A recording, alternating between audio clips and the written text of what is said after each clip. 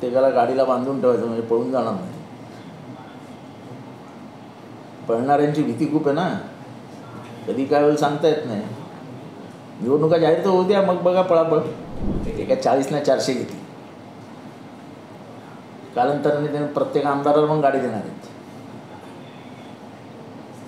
आणि गाडीवर बरोबर दोन माणसं पण देणार ड्रायव्हर पण देणार आहेत. नजर ठेवावी लागेल ना. निवडणुका जाहीर झाल्यावर कोणी पळून जायला नको कुठे. प्रत्येक जिल्हाध्यक्षकांना आता चार चाकी गाड्या देणार आहेत आणि त्याचं आता टेस्ट ड्राईव्ह सुद्धा करण्यासाठी बोलले. असं आहे की प्रत्येकाला गाडीला बांधून ठेवायचं म्हणजे पळून जाणार नाही. पळणाऱ्यांची भीती खूप आहे ना. कधी काय होईल सांगता येत नाही. निवडणुका जाहीर तर होऊ द्या मग बघा पळापळ. महिंद्रा कंपनीच्या चाळीसहून अधिक गाड्या ते काय चाळीसला चारशे घेतील.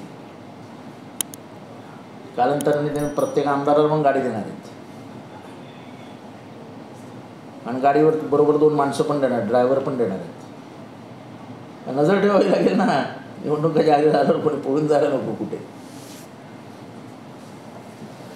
सर येणाऱ्या नवीन वर्षात जरांगे पाटील येणार आहेत मुंबईत आझाद मैदानावर. आणि त्यासाठी त्यांनी सांगितलंय की मुंबईमध्ये यायची आम्हाला हौस नाही. आम्हाला गोळ्या घातल्या तरी पण चालेल आम्हाला आरक्षण पाहिजे. आरक्षण देणार होतं ना हे सरकार चोवीस तारखेपर्यंत? मला कशाला प्रश्न विचारत आहेत ज्यांनी सांगितलेलं आरक्षण देऊ त्यांना प्रश्न विचारा ना.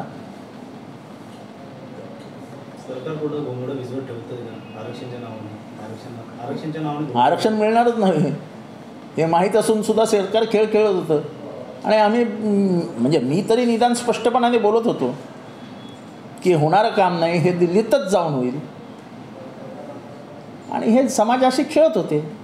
कधी ओबीसी समाजाशी खेळत होते कधी मराठा समाजाशी खेळत होते. पण समाजाशी खेळून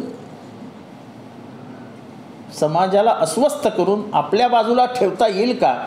हा प्रयत्न सत्ताधारी करतायत आणि करतच राहतील.